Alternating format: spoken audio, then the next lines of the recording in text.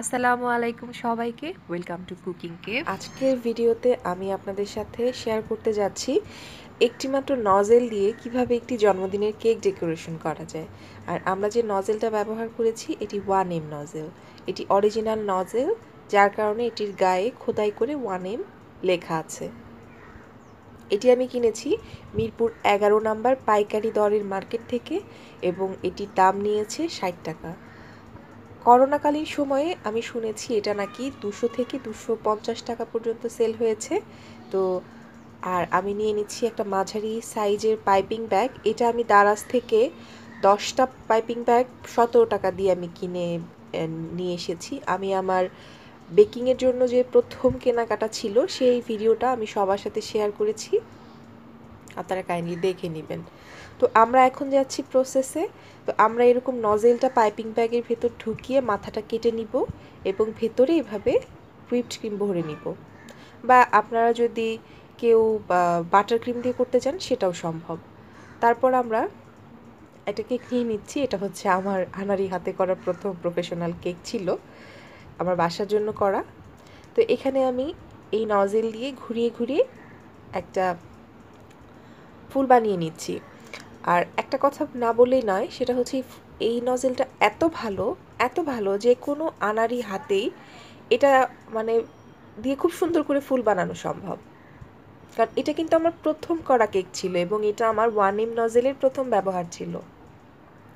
যার কারণে আমি সবার সাথে শেয়ার করলাম যে আমার মতো যারা বেকিংয়ের জগতে নতুন আছেন, তাদের যেন উপকার লাগতে পারে।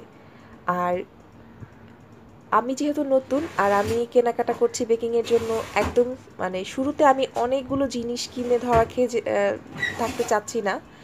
যেগুলো খুব বেশি প্রয়োজন, সেই জিনিসগুলো আসলে আমি কিনতে চাচ্ছি এবং কিনেছি।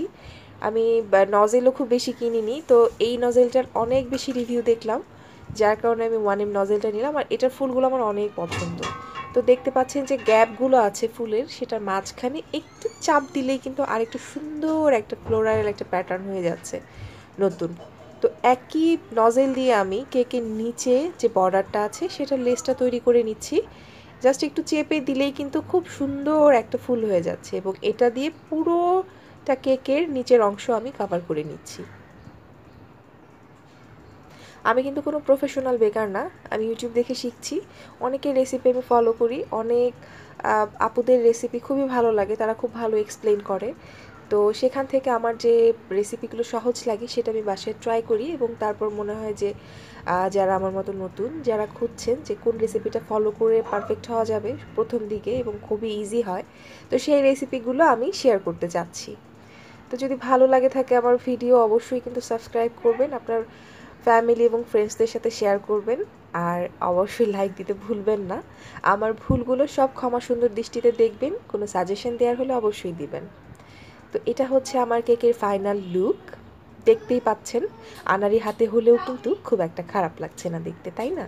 একদম প্রথম এবং একদম শুরুতে আমি যখন ওয়ান এম নজেলটা ব্যবহার করেছিলাম সেটার লুক তো আপনারাও ডেকোরেশন করুন, নিজের কেক আর পরিবারের, পরিজনের জন্মদিনের কেক। ভালো থাকবেন, আল্লাহ হাফেজ।